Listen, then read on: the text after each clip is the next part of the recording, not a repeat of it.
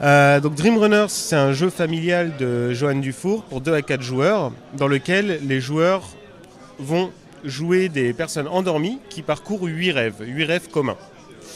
Euh, donc on a des rêves au centre qu'on va retourner au nombre de 8 et chaque joueur a devant lui des segments qu'il va devoir assembler pour faire face aux rêves qu'il rencontre.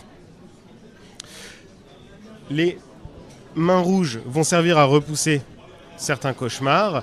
Les sacs vont, réussir- vont permettre aux joueurs de récupérer certains éléments qui vont lui permettre d'avoir des nouveaux segments pour faire face à des rêves plus compliqués ou de réaliser des étoiles qui vont lui donner des points de victoire. Alors, comment ça se joue exactement? Alors, comment ça se joue? Donc là, j'ai retourné un rêve. Ouais. Donc, si je veux faire une- un exemple de partie, je vais donc essayer de faire une composition pour repousser les deux cauchemars. Donc, l'orientation est en fonction de l'orientation du rêve par rapport à moi. Mhm. Je vais par exemple faire ceci.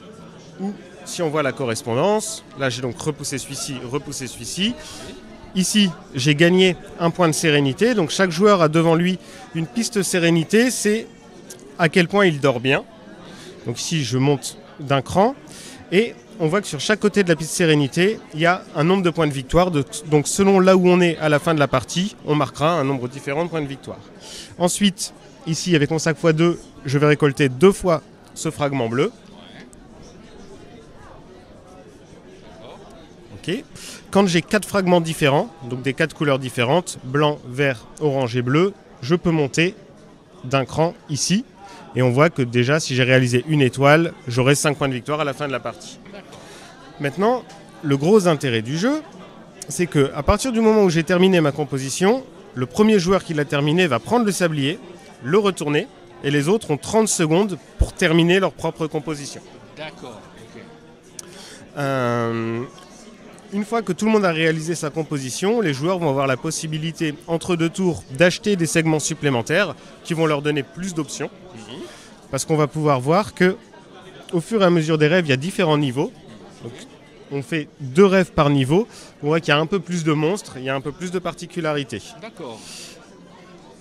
Et le principe du jeu va donc être de réussir à s'en sortir le mieux possible Ouais. tout au long de cette traversée et de course de rêve en rêve. D'accord. Euh, Qu'est-ce que je pourrais vous rajouter d'autre? Oui, on a des coffres. Qu'on va pouvoir ouvrir euh, si on a réussi à récolter des clés, notamment pendant la partie, donc grâce au sac. On va dépenser sa clé, ouvrir un coffre, on va récupérer le contenu. Mhm. On a certains monstres un peu traîtres, comme cette chauve-souris ici, qui va nous voler un segment si jamais elle n'est pas combattue. Donc Ouais. un segment qu'on n'aura pas utilisé. Euh, on a également des cases qu'on appelle des cases communes à tous les joueurs, c'est-à-dire que tous les joueurs qui ont mis un sac vont s'en partager le contenu. Donc si vous êtes seul, c'est super pour vous, vous allez tout prendre. Sinon, eh, vous devrez faire avec. Et le principe du jeu est donc celui-là, après les 8 rêves, celui qui a le plus de points de victoire gagne la partie.